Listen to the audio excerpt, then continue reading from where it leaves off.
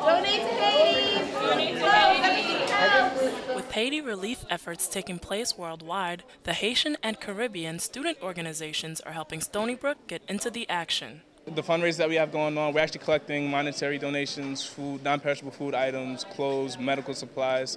Um, we actually started on the first day of school, and we're going to be running this until next Friday, February 5th.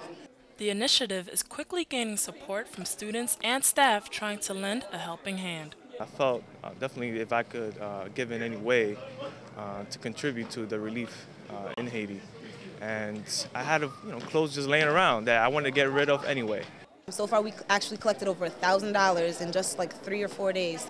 I got calls from students, from students, faculty, people all over just asking, trying to find out how they can help. It was amazing.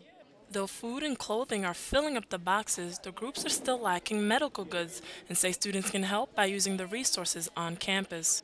The infirmary is giving away free medicine. We need medicine. That's one of the things that we need that we're not getting in a lot. Just run to the infirmary, fill out a few papers, get some medicine, bring it on over.